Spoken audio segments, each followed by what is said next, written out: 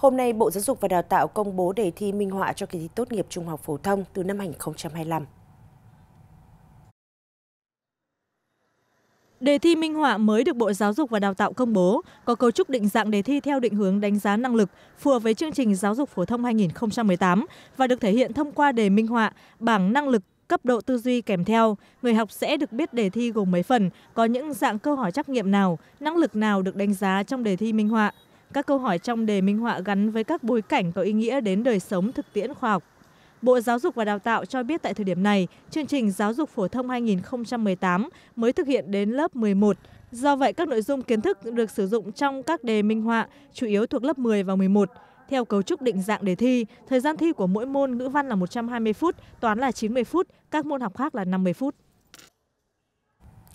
Tại thành phố Hồ Chí Minh đang triển khai thi công nhiều công trình giao thông trọng điểm, thành phố đặt quyết tâm đẩy nhanh tiến độ, đưa hàng loạt công trình dự án về đích trong năm 2024.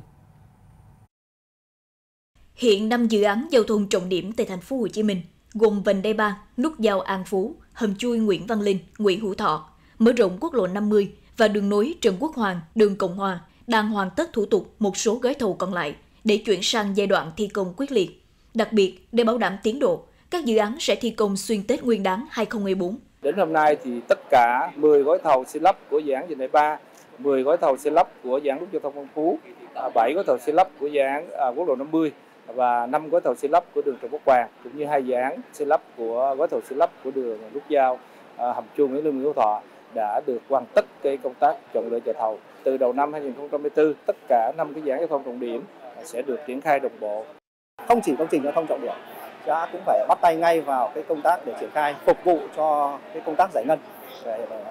từng bước là khắc phục được cái tình trạng là những cái tháng đầu năm có cái tỷ lệ giải ngân thấp. Ngoài vốn bố trí đã sẵn sàng, chủ đầu tư cùng các nhà thầu cam kết nỗ lực thi công, phấn đấu giải ngân trên 95% lượng vốn được giao. Dự kiến trong năm 2014, trên địa bàn thành phố Hồ Chí Minh sẽ hoàn thành đưa vào khai thác khoảng 40 công trình giao thông. Thưa quý vị, sau nhiều năm gặp vướng mắc về giải phóng mặt bằng, sáng nay dự án khu tái định cư có quy mô 38 ha tại quận 12 thành phố Hồ Chí Minh đã chính thức khởi công. Sau khi hoàn thành sẽ bổ sung quỹ nền đất bố trí tái định cư cho dự, cho các dự án trọng điểm tại thành phố. Khu tái định cư phường Tân Sơn Nhất, quận 12 được khởi công xây dựng với tổng kinh phí đầu tư 301 tỷ đồng, quy mô 38 ha, dự kiến gấp rút hoàn thành trong năm 2014 để bố trí nền tái định cư tại chỗ cho người dân bị ảnh hưởng và các dự án trọng điểm trên địa bàn thành phố Hồ Chí Minh. Để thực hiện dự án, 778 trường hợp hộ dân phải di dời, trong đó có 474 trường hợp có nhà ở, đất bị giải tỏa toàn bộ, 282 trường hợp có đất nông nghiệp bị giải tỏa toàn bộ và 22 trường hợp bị giải tỏa một phần. Sau khi khởi công, các đơn vị tập trung đầu tư hạng mục hạ tầng kỹ thuật, khu tái định cư sẽ có thêm 19 tuyến đường, có tổng chiều dài hơn 5 km hai công viên rộng gần 4 hecta, trồng mới hơn 800 cây xanh. Tại các cửa lạch trên địa bàn tỉnh Thanh Hóa, tình trạng bồi lắng đang diễn ra khiến luồng lạch cạn và hẹp. Tàu thuyền ra vào gặp nhiều khó khăn, ảnh hưởng đến hoạt động khai thác hải sản, thu hút tàu cá vào cảng để trao đổi hàng hóa. Tại cửa lạch trường vào thời điểm nước chiều kiệt, độ sâu luồng chỉ còn chưa đầy 1 mét. Tình trạng tương tự cũng diễn ra tại các cửa lạch lớn như lạch hới, lạch bạn, tàu thuyền ra vào đều phải chờ con nước nước thủy chiều nó xuống đấy là rất khó là vào bởi vì nó cạn cái tàu không vào được kể cả ví dụ thiên nhiên trời nó có gió ví dụ như hôm nay là trời rất gió này đậu ở như cửa thì cũng rất là nguy hiểm nhưng mà nó cạn không vào được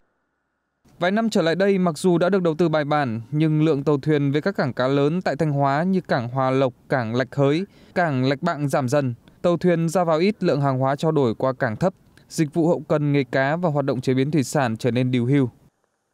Trước đây là cái tàu các tỉnh ngoài thì ra vào nhiều, thì hiện nay là do cái bồi lắng thì không được nạo vét thì ờ, ảnh hưởng đến cái việc là ngư dân người ta ít ra vào và hầu như là các tàu các tỉnh ngoài thì nó không ra vào. Trước thực trạng bồi lắng tại các cửa lạch, tỉnh Thanh Hóa vừa quyết định đầu tư nạo vét cửa lạch bạng. Địa phương này cũng đang phối hợp với Bộ Nông nghiệp và Phát triển Nông thôn, khảo sát nâng cấp mở rộng cảng cá lạch hới, chuẩn bị các điều kiện để nạo vét lạch trường và lạch hới.